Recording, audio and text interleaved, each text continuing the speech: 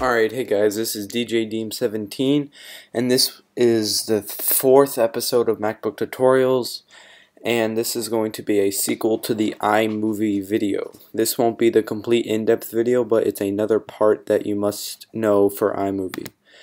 Now, once you've finished your project in iMovie, it'll look something like that with your outro video and and um one if you try to upload this project to YouTube, it's going to say something like this.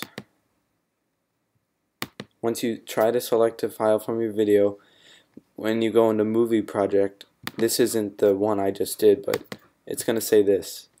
It's going to say it's a project file, not an actual video file. Follow these steps to simply convert this to an acceptable file format.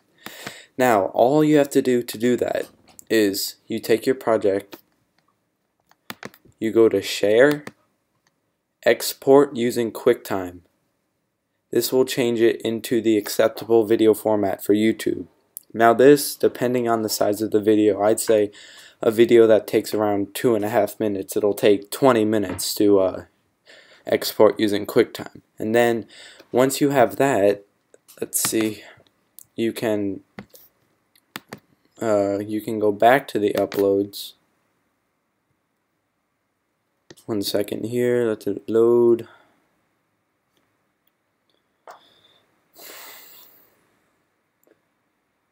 Now, come on, load.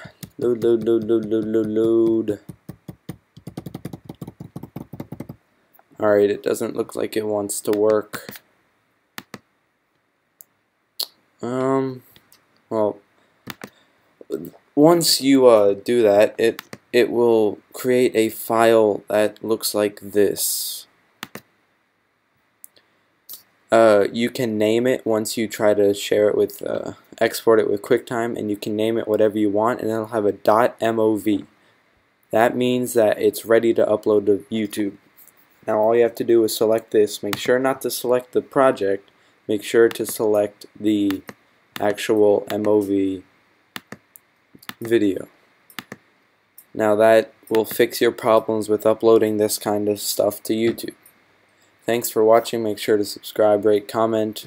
Make, make sure to comment on things you would want me to cover for help. Uh, thanks for watching and see you next time. Oh, one more thing.